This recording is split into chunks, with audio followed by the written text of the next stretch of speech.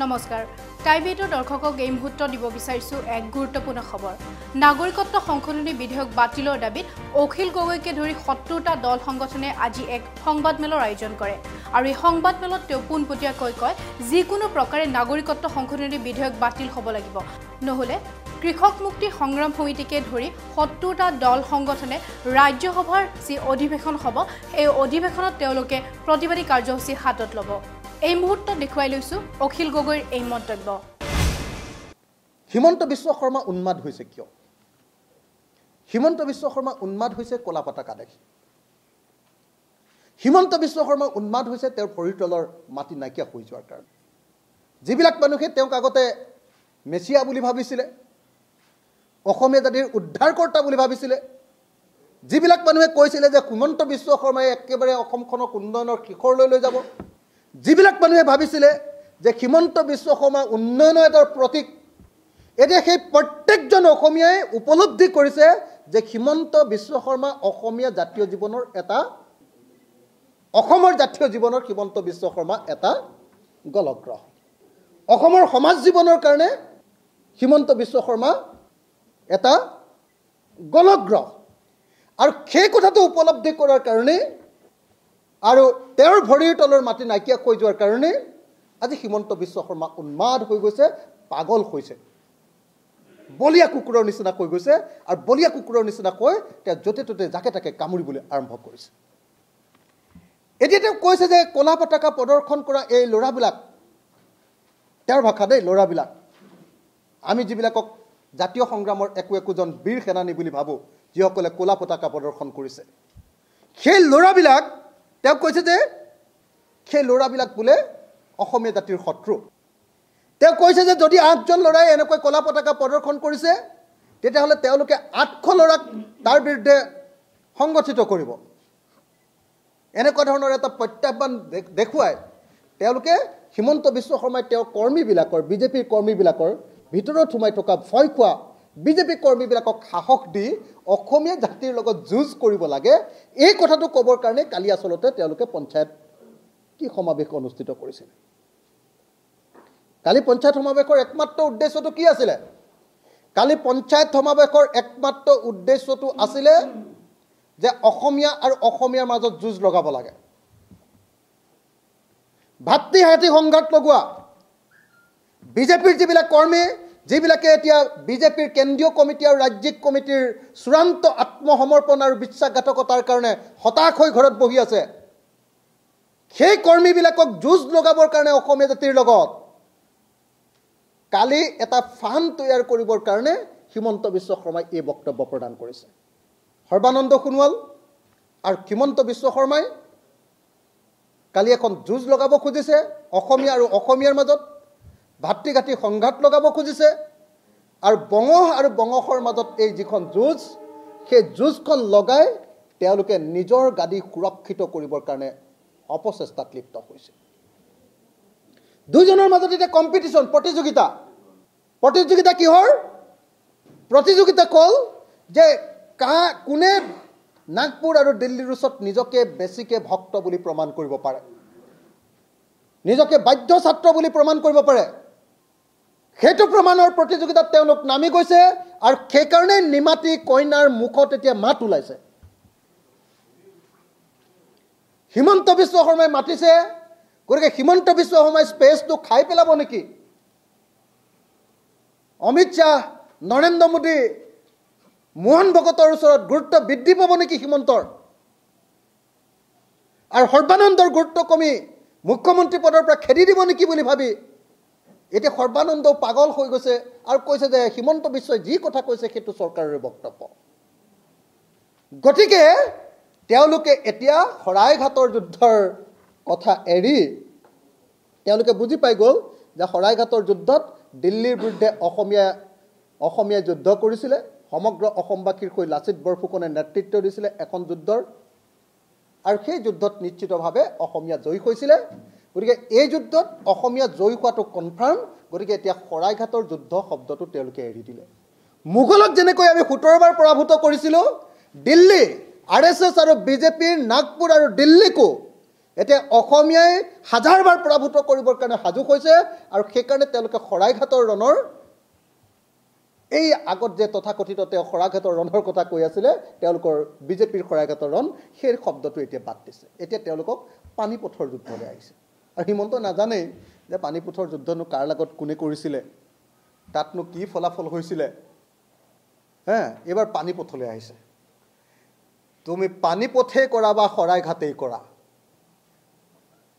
এটা কথা খাটাং এই যুদ্ধত অসমীয়া জয়ী হ'ব। এই যুদ্ধত অসমীয়া জয়ী হ'ব আৰু অসমীয়া জয়ী হোৱাৰ সকলো লক্ষণ ফুটি উঠিছে। আৰু অসমীয়া যিটো জয়ী হ'ব গতিকে হিমন্ত বিশ্ব শৰ্মা পাগল হৈ গৈছে। হিমন্ত বিশ্ব শৰ্মা অসমীয়া জাতিৰ গাদ্দাৰ। সৰ্বানন্দ সোণোৱাল অসমীয়া জাতিৰ গাদ্দাৰ বিশ্বাসঘাতক বেইমান। আৰু এই বেইমান শব্দটো আমি কোৱা শব্দ নহয় সদৌ অসম ছাত্ৰ সন্থাৰ এজন মূল মানুহ। বসন্ত ডেকাই কোৱা শব্দ বেইমান। বিশ্বাসঘাতক বেইমান। গাদ্দাৰ কোন গাদ্দাৰ? সৰ্বানন্দ সোণোৱাল গাদ্দাৰ হিমন্ত বিশ্ব শৰ্মা গাদ্দাৰ ৰঞ্জিত দাস গাদ্দাৰ অসম বিজেপিৰ প্ৰত্যেকজনে একো একোজন গাদ্দাৰ বা বিশ্বাসঘাতক একোজন বেইমান হয়। আৰু সেই বেইমানৰ চৰিত্ৰ অসমৰ ৰাইজে বুজি উঠিছে কাৰণে বেইমানবিলাক পাগল হৈ গৈছে আৰু পাগল হৈ গৈ সিহঁতি কি কৰিব খুজিছে? চিটি বাছত যেনেকৈ পকেট মাৰবিলাক যে থাকে চিটি বাছত পকেট মাৰ একেলগতে বহুত উঠে একেলগতে চিটি বাছত যেতিয়া পকেট মাৰবিলাক ধৰা পৰে ধৰা পৰিলে কি কৰে? সিহঁতৰ কেইবাটাও পকেট মাৰ যে একেলগতে উঠে নহয়। অচিনাকি বেশত থকা সেই বেলেগকেইটা পকেট মাৰে গোটেইকেইটাই লগ লাগি যিজনে ধৰিছে তেওঁকে পিটিবলৈ চেষ্টা কৰে। চোৰে মানে গৃহস্থক পিটিবলৈ আৰম্ভ কৰে। ঠিক তেনেকৈ এতিয়াই এই পকেট মাৰকেইটা আমাৰ হিমন্ত বিশ্ব শৰ্মা পকেট মাৰ আমাৰ সৰ্বানন্দ পকেট মাৰ আমাৰ ৰঞ্জিত দাস পকেট মাৰ এই অসমীয়া জাতিৰ এই পকেট বেইমান কেইজনে কি কৰিছে? ধৰা পৰি লৈ এতিয়া আমাৰ কলা পতাকা দেখুওৱা মানুহবিলাকক বোলে পিটিব। আমাৰ জাতীয় সেনানীবিলাকক বোলে তেওঁলোকে আক্ৰমণ কৰিব আৰু সেই আক্ৰমণৰ ষড়যন্ত্ৰ ৰচনা কৰি কালিৰ দিনটো আচলতে বিজেপিৰ কৰ্মীবিলাকক মাতি আনি কৈছে যে তোমালোকে গাঁৱে গাঁৱে কাজিয়া লগা। আমি চেলেঞ্জ কৰি কৈছোঁ আমি প্ৰত্যাহ্বান জনাই কৈছোঁ সত্তৰটা সংগঠনে। যদি সাহস আছে তেতিয়াহ'লে এই সত্তৰটা সংগঠন আৰু অসমৰ অসমীয়া জাতিক তোমালোকে চেলেঞ্জ কৰা। আমাৰ প্ৰত্যাহ্বান যদি বিচাৰা কোৱা সংঘাত যদি বিচাৰা কোৱা অসমৰ জাতীয় জীৱনক ৰক্ষা কৰিবৰ কাৰণে বিদেশীৰ পৰা অসমক ৰক্ষা কৰিবৰ কাৰণে অসমক বচাবৰ কাৰণে আমি সত্তৰটা সংগঠনৰ প্ৰত্যেকজন সদস্যই এতিয়া জাতীয় সেনানীক হৈ তোমালোকৰ লগত প্ৰতিৰোধ সংগ্ৰামত লিপ্ত হ'বলৈ সাজু। কালি সীমন্তই গুণ্ডা তৈয়াৰ কৰিব খুজিছে। পঞ্চায়তৰ কৰ্মীক মাতি আনি ক'ব খুজিছে যে আন্দোলনকাৰীসকলৰ লগত যুদ্ধ কৰা। বিজেপিৰ কৰ্মীক মাতি আনি ক'ব খুজিছে যে প্ৰত্যেকজন জাতীয় ভাৱাপন্ন মানুহৰ লগত কাজিয়া কৰা। কলা পতাকা দেখুওৱা মানুহবিলাকৰ বিৰুদ্ধে বগা পতাকা লৈ তোমালোকে যুদ্ধত লিপ্ত হোৱা। ভাতৃঘাতী সংঘৰ্ষ লগাবৰ কাৰণে সীমন্ত আৰু সৰ্বানন্দ সোণোৱাৰে প্লেন কৰিছে আৰু এই মুহূৰ্তত সেইকাৰণে আমি প্ৰত্যেকজন বিজেপি কৰ্মীক এটা কথাই সকীয়াই দিওঁ সোঁৱৰাই দিওঁ যে আপোনালোকে সীমন্ত আৰু সৰ্বানন্দৰ এই চক্ৰান্তত ভৰি নিদিব। যদি ভৰি দিয়ে বিপদ আপোনালোকৰে। আমি ভাতৃঘাতী সংঘৰ্ষ বিচৰা নাই। আমি গাঁৱত বিজেপি কৰ্মীক পিটিব খোজা নাই। আমি গলিবিলাকত বিজেপি কৰ্মীক পিটিব খোজা নাই। আমি চাহ বাগানত বিজেপি কৰ্মীক পিটিব খোজা নাই। সত্তৰটা সংগঠনৰ কোনেও এতিয়ালৈকে আক্ৰমণ কৰা নাই। কিন্তু কালি হিমন্ত বিশ্ব শৰ্মা আৰু সৰ্বানন্দ সোণোৱালে মিটিং পাতি বিজেপিৰ কৰ্মীবিলাকক অসমৰ জাতীয় জীৱনৰ সেনানীসকলক আক্ৰমণ কৰিবৰ কাৰণে তেওঁ উচতনি দিছে। এটা সংঘাত এটা সংঘৰ্ষ লগাবৰ কাৰণে এটা যুদ্ধ আৰম্ভ কৰিবৰ কাৰণে কালি তেওঁলোকৰ কৰ্মীবিলাকক সাহস যোগাবৰ কাৰণে চেষ্টা কৰিছে। এই দুঃসাহস নকৰাই ভাল। হিমন্ত বাচি যাব সৰ্বানন্দ বাচি যাব তেওঁলোকৰ লগত ব্লেক কেট আছে। কিন্তু সাধাৰণ গাঁৱৰ বিজেপি কৰ্মীজন কলৈ যাব? যেতিয়া সমগ্ৰ গাঁওখনে তেওঁলোকৰ বিৰুদ্ধে গুচি যাব সমগ্ৰ অঞ্চলৰ মানুহ তেওঁলোকৰ বিৰুদ্ধে গুচি যাব তেতিয়া বিজেপিৰ কৰ্মীজন ক'ত গুচি যাব? গতিকে এই মুহূৰ্তত আমি বিজেপি কৰ্মীজনক প্ৰত্যেকজনক এটাই আহ্বান জনাইছোঁ। আপোনালোকে সীমন্ত আৰু সৰ্বানন্দৰ কথা শুনি আপোনালোকে নিজৰ পিঠি ৰাইজৰ সন্মুখত পাতি নিদিব। আপোনালোকে নিজেই মাৰ খাবৰ কাৰণে আগবাঢ়ি নাযাব। আপোনালোকক উচতনি দি আপোনালোকক কাজিয়া লগাবৰ কাৰণে যি চেষ্টা কৰিছে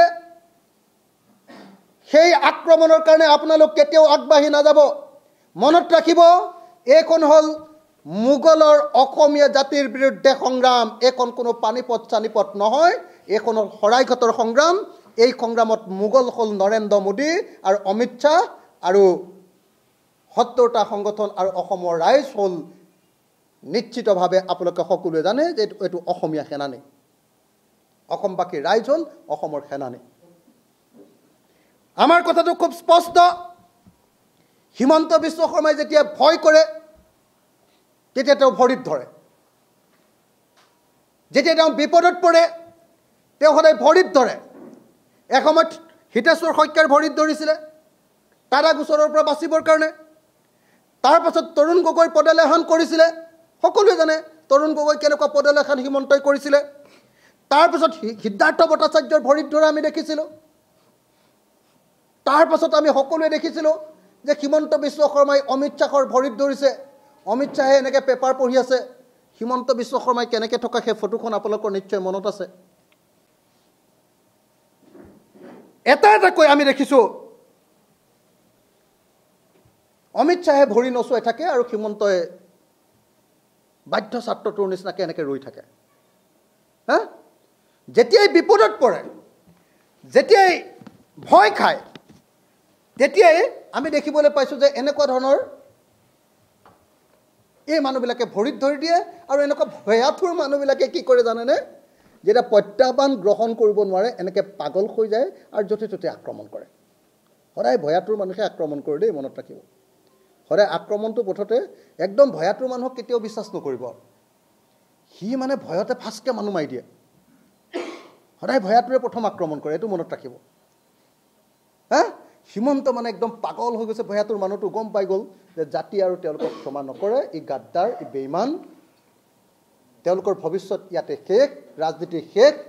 হিমন্ত আৰু সৰ্বানন্দৰ আৰু কোনো ভৱিষ্যত নাই। গতিকে এতিয়া পাগল হৈ হিমন্ত আৰু সৰ্বানন্দই এতিয়া অসমীয়া জাতিৰ লগত অসমীয়া জাতিৰ কাজিয়া লগাবৰ কাৰণে বিজেপিৰ কৰ্মীবিলাকক উচতনি দিব খুজিছে মই হিমন্ত বিশ্ব শৰ্মাক সুধিব খুজিছোঁ। মই সৰ্বানন্দ সোণোৱালক সুধিব খুজিছোঁ তোমালোকে যে বিজেপিৰ কৰ্মীক মাতি আনি অসমীয়া জাতিৰ লগত কাজিয়া কৰিবলৈ কৈছা।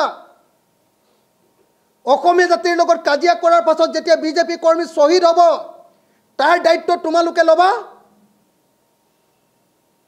জাতিৰ বিৰুদ্ধে যুদ্ধ কৰি কোনোবাই জিকিব পাৰে নেকি? গাঁৱে গাঁৱে যে তোমালোকে বঙহৰ লগত বঙহৰ যুদ্ধ লগাব খুজিছা। তাৰ পাছৰ যি ফলাফল হ'ব তাৰ দায়িত্ব সৰ্বানন্দ আৰু সীমন্তই ল'ব। আমি সত্তৰটা সংগঠনে বাৰম্বাৰ কৈ আহিছোঁ যে আমি গণতান্ত্ৰিকভাৱে আন্দোলন কৰিম আমি শান্তিপূৰ্ণভাৱে আন্দোলন কৰিম আমি কোনো বিজেপিৰ মানুহক আক্ৰমণ কৰিবৰ কাৰণে যোৱা নাই। আজি পৰ্যন্ত এটা ছিংগুল ইনচিডেণ্টটো আপোনালোকে দেখুৱাব নোৱাৰে। আমি হিমন্তৰ বিৰুদ্ধে শিলগুটি মৰা নাই। আমি হিমন্ত বিশ্ব শৰ্মাক কলা পতাকা দেখুৱাইছোঁ আৰু কলা পতাকা দেখাৰ পাছত হিমন্ত বিশ্ব পগলা কুকুৰ হৈ গৈছে। পগলা কুকুৰ।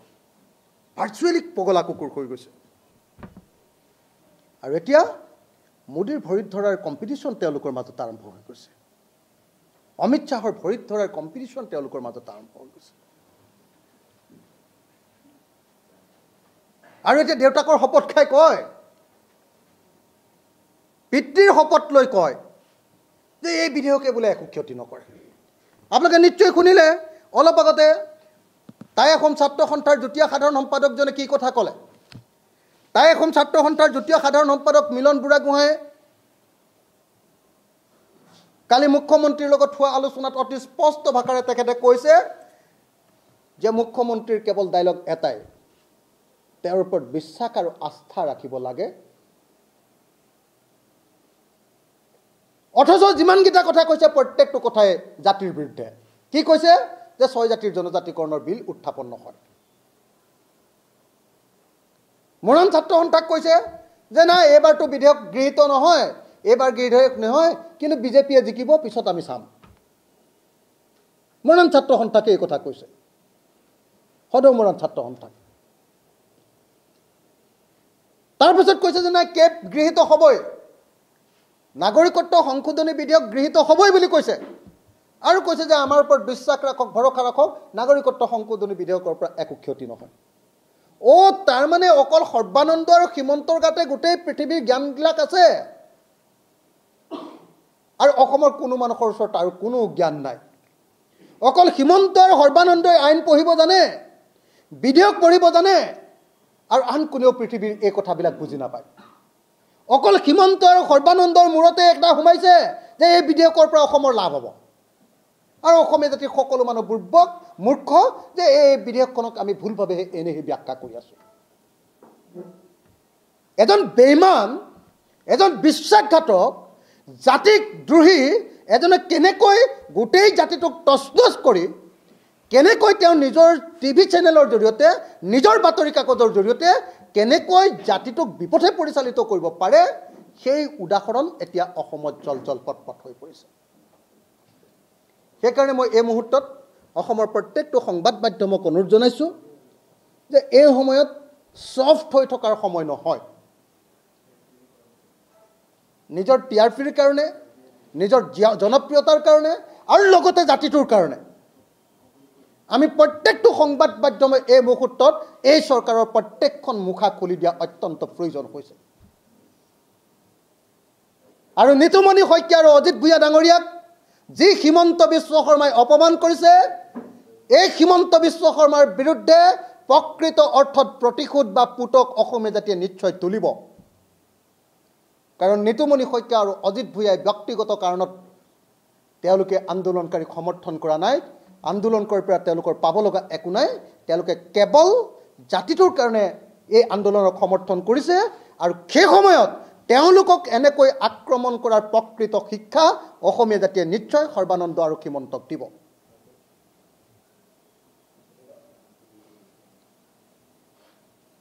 আমি আৰু এটা কথা ঘোষণা কৰিব খুজিছোঁ।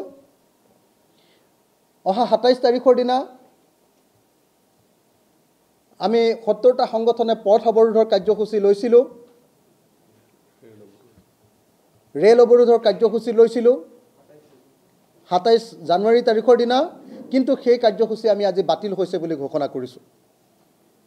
তাৰ কাৰণটো হ'ল সাতাইছ মানে অনেক মানুহৰ পৰা এটা খবৰ আহিছে যে সাতাইছ তাৰিখে কিবা কেইটামান পৰীক্ষা আছে। বিভিন্ন ধৰণৰ পৰীক্ষা আছে। গতিকে আমি মানুহৰ অপকাৰ কৰিবৰ কাৰণে লোকচান কৰিবৰ কাৰণে কেতিয়াও যিহেতু এই আন্দোলন কৰা নাই। জাতিটোৰ স্বাৰ্থত কৰিছোঁ। গতিকে সত্তৰটা সংগঠনে আজি জৰুৰী বৈঠক অনুষ্ঠিত কৰি আমি সাতাইছ তাৰিখৰ পথ অৱৰোধ আৰু ৰেল অৱৰোধৰ কাৰ্যসূচী স্থগিত কৰিছোঁ। আৰু সেই দিনটোত অকল এটা ঠাইতে আমি ডাঙৰকৈ প্ৰতিবাদ কৰিম সেইটো হ'ল তিনিচুকীয়া জিলাত। পানী তোলাৰ ওচৰতে আমি সকলো সংগঠন অসমৰ সকলো জাতীয় সংগঠনে ঐক্যবদ্ধ হৈ পানী তোলাত মটক ছাত্ৰ মটক যুৱ ছাত্ৰ সন্মিলন মটক সন্মিলন মৰাণ ছাত্ৰ সন্থা টাই অসম ছাত্ৰ সন্থা চুতীয়া ছাত্ৰ সন্থা আৰু চাহ জনজাতি ছাত্ৰ সন্থাৰ নেতৃত্বত। আৰু অন্যান্য বহুত সংগঠন আছে। আমি সেইদিনা সেইকাৰণে সিদ্ধান্ত লৈছোঁ যে এটা কাম কৰোঁ যে অসমৰ যিসকল যুৱক যুৱতীয়ে সেইদিনা পৰীক্ষা দিব তেওঁলোকৰ কাৰণে যাতে ক্ষতি নহয় তাৰ কাৰণে সাতাইছ তাৰিখৰ যি কাৰ্যসূচী আছে সেই কাৰ্যসূচী আমি স্থগিত ৰাখি মাত্ৰ তিনিচুকীয়া জিলাত সেইদিনা কাৰ্যসূচী ৰূপায়ণ কৰা হ'ব। সেইদিনা সমাৱেশ হ'ব। বিশাল সমাৱেশ হ'ব আৰু সেই বিশাল সমাৱেশৰ সময়ত আমি সকলোৱে বিলখন বাতিল কৰিব লাগে আৰু ছয় জাতিৰ জনজাতিকৰণ কৰিব লাগে এই দাবী আমি উত্থাপন কৰিম। আৰু আমি এটা কথা খাটাংকৈ কৈ থৈছোঁ বেলেগ সংগঠনৰ কথা আমি নাজানো। কিন্তু আমাৰ সত্তৰটা সংগঠনে কিন্তু ছয় জাতিৰ জনজাতিকৰণ আমি এশ শতাংশ বিচাৰোঁ। এইটো আমাৰ লোকঢাক কৰি কোৱা কথা নহয়। কিন্তু এইটো নহয় যে অসমৰ জনজাতিসকলৰ কিবা ক্ষতি আমি বিচাৰোঁ। আমাৰ সত্তৰটা সংগঠনত জনজাতি সংগঠনো আছে। কিন্তু আমাৰ কথাটো খুব স্পষ্ট যে অসমৰ পুৰণি জনজাতিৰ কোনো ক্ষতি নোহোৱাকৈ ছয় জাতিৰ জনজাতিকৰণ হ'ব লাগিব। আৰু জনজাতিকৰণ কৰিবই লাগিব। আৰু জনজাতিকৰণ কৰোঁতে এই জনজাতিসকলক আদাৰ্ছ বুলি কৰিলে নহ'ব তেওঁলোককো জনজাতিৰ মৰ্যাদা দিব লাগিব। কেৱল অসমৰ যিসকল পুৰণি জনজাতি আছে তেওঁলোকৰ কিন্তু কোনো ক্ষতি হ'ব নোৱাৰিব। এইকাৰণে আমি ছয় জাতিৰ জনজাতিকৰণক সমৰ্থন কৰিছোঁ। কাৰণ প্ৰকৃত অৰ্থত যদি অসমীয়া জাতিয়ে সঁচাকৈ সাংবিধানিক ৰক্ষা কবচ পাব লাগে আৰু মই আগতেই কৈছোঁ যে সাংবিধানিক ৰক্ষা কবচ মানে আৰ্টিকল থ্ৰী ছেভেণ্টি আৰু থ্ৰী ছেভেণ্টি ওৱান এৰ পৰা আইৰ ভিতৰত পাব লাগিব। সেইটো পাবলৈ হ'লে ছয় জাতিৰ জনজাতিকৰণটো অপৰিহাৰ্য? গতিকে অসমীয়া জাতিৰ স্বাৰ্থত আমি ছয় জাতিৰ জনজাতিকৰণ বিচাৰিছোঁ আৰু অকল ছয় জাতিৰ জনজাতিকৰণেই নহয় আজি নাথ যোগীসকলে জনজাতিকৰণ বিচাৰিছে সেই ক্ষেত্ৰতো আমাৰ কোনো আপত্তি নাই বৰং আমি তাক সমৰ্থন জনাওঁ। কাৰণ অসমত জনজাতিৰ সংখ্যা বৃদ্ধি কৰেহে অসমক বচোৱাটো সম্ভৱ। আৰু হিমন্ত বিশ্ব শৰ্মাৰ কিমান এজন মানে নজনা মানুহ মোৰ শব্দটো বেয়াই আহি গৈছিলে আৰু। নকওঁ কাৰণ তেওঁ মানুহক কিমান অপমানিত কৰিব পাৰে আমি কৰিব খোজা নাই। কিন্তু তেওঁ কিমান নজনা মানুহ চাওক কালি কৈছে যে সাংবিধানিক ৰক্ষা কবচ দিবৰ কাৰণে বোলে অসম চুক্তিৰ অধীনত তেওঁলোকে ষষ্ঠ অনুসূচী দিব সংবিধানত। হেৰ' তেওঁ ষষ্ঠ অনুসূচী কাক কয়? অসম চুক্তিৰ ছয় নম্বৰ দফাক কাক কয়? সংবিধানত সাংবিধানিক ৰক্ষা কবচ ক'ত আছে ৰাজ্য এখনৰ কাৰণে বা বিশেষ স্পেচিয়েল জনজাতি বা জাতিৰ কাৰণে? এই কথাটোকে হিমন্ত বিশ্ব শৰ্মাই নাজানে। পঁচিছ ত্ৰিছ বছৰ এম এল এ হৈ থকা মানুহটোৱে সংবিধানখন যে ভালকৈ পঢ়া নাই আৰু তাৰ পাছত আকৌ জনাব খোজে যে মই পৃথিৱীৰ আটাইতকৈ ডাঙৰ পণ্ডিত। ষষ্ঠ অনুসূচী মানে হিমন্ত বিশ্ব শৰ্মাক কৈছোঁ। আপুনি এবাৰ পঢ়ি ল'ব দেই। ষষ্ঠ অনুসূচী মানে সংবিধানৰ জনজাতিসকলৰ কাৰণে দুটা সাংবিধানিক সুৰক্ষা কবচ আছে। এটা হ'ল পঞ্চম অনুসূচী আৰু এটা হ'ল ষষ্ঠ অনুসূচী। উত্তৰ পূৰ্বাঞ্চলৰ পাহাৰীয়া জাতিৰ কাৰণে ষষ্ঠ অনুসূচী আছে আৰু ভাৰতবৰ্ষৰ অন্যান্য যিবিলাক জনজাতি আছে উত্তৰ পূৰ্বাঞ্চলক বাদ দি সেইসকলৰ কাৰণে পঞ্চম অনুসূচী আছে।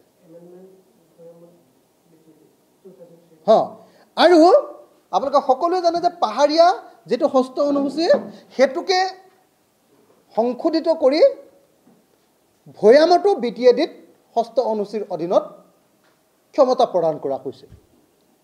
এতিয়া আচুক যি সাংবিধানিক ৰক্ষা কবচৰ কথা কৈছে তাৰ লগত ষষ্ঠ অনুসূচীৰ কোনো সম্পৰ্ক নাই। মানে মই পণ্ডিতজনৰ জ্ঞানৰ ফুপুলা ৰূপটো দেখুৱাই দিবৰ কাৰণেহে কথাটো কৈছোঁ দেই। কিমান ভুল কথা তেওঁ কয় মিছা কথা কয়। প্ৰত্যেকটো ক্ষেত্ৰতে মিছা। এই মানুহটো মই আগতে কৈছোঁ যে আউট এণ্ড আউট মিছলীয়া। মানে ভৰিৰ তলৰ পৰা মূৰৰ ওপৰলৈকে। আৰু আজিৰ পৰা সৰ্বানন্দ সোণোৱালক আৰু বেলেগে কোনেও জাতীয় নায়ক বুলি নক'ব দেই। আছুৱে দিছিলে নহয় জাতীয় নায়কটো। এতিয়া আছুৱে দি দিলে ল'ৰা ৰজা। গতিকে এতিয়া ল'ৰা ৰজা ল'ৰা ৰজা ল'ৰা ৰজা ল'ৰা ৰজা। ল'ৰা ৰজাৰ মানে এনেকুৱা অৱস্থা হৈছে যে ল'ৰা ৰজাই তেওঁ যিজন কাষত থকা মন্ত্ৰী সেই মন্ত্ৰীজনৰ পৰা গাড়ী যাওঁ গাড়ী যাওঁ বুলি ভাবি ল'ৰা ৰজা পাগল হৈ গৈছে এইকেইদিন। মন্ত্ৰী যেনেকৈ পাগল হৈছে নহয় তেনেকৈ ল'ৰা ৰজা পাগল হৈ গৈছে। আৰু হিমন্ত বিশ্ব এদিন জিন্নাৰ কথা কয় এদিন পানীপথৰ যুদ্ধৰ কথা কয় এদিন শৰাইঘাটৰ যুদ্ধৰ কথা কয় হে? তাৰপিছত আকৌ এতিয়া এইবাৰ আকৌ সত্ৰ সত্ৰ মন্দিৰ মছজিদ। এজন সংবিধানৰ শপত লোৱা মানুহ। সেই মানুহটোৱে চৌব্বিছ ঘণ্টা কালি এটাই ধৰ্মৰ কথাই কয়। ধৰ্মীয় অনুষ্ঠানৰ কথাই কয়। মছজিদ মন্দিৰ শিৱ মন্দিৰ কালী মন্দিৰ কি কয় আপোনাৰ? সত্ৰ অকল খালি এইটোৱেই তেওঁৰ প্ৰশ্ন। আৰু তেওঁ কয় যে মুছলমানে বোলে কলা পতাকা দেখুৱাব নোৱাৰে। আৰে ভাই মুছলমানে কলা পতাকা দেখুৱাব নোৱাৰে বুলি তোমাক কোনে ক'লে? মুছলমানৰ জাতীয়তাবোধ নাই নেকি? অসমৰ প্ৰত্যেকজন খিলঞ্জীয়া মুছলমান গৰীয়া মৰিয়া আমাৰ যিমানবিলাক আছে প্ৰত্যেকজন খিলঞ্জীয়া মুছলমানে আচলতে হিমন্ত বিশ্ব শৰ্মাৰ এই ৰাজনীতিক বলি দিব লাগে। বলি দিব লাগে।